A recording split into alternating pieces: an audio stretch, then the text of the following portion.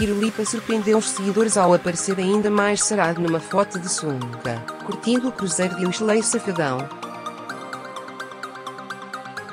Atualmente pesando 73 kg, o humorista, filho de Tiririca, conquistou os músculos 12 kg com dieta e praticando futebol. O resultado surpreende.